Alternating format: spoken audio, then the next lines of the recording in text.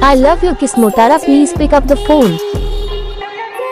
I love you Kismotara please pick up the phone.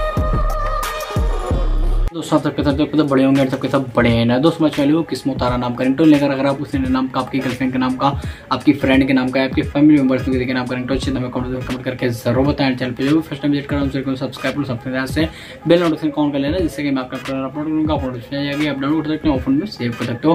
Download करने में save करने में कुछ भी प्रॉब्लम होती है मैं कर सकते हो, या फिर कमेंट बॉक्स में कमेंट करके पूछ सकते हो आपको बता दूँगा किसे क्या करना है। एडमिट पसंद है लाइक करो शेयर करो, मिलते हैं नेक्स्ट वीडियो तक के लिए पाओ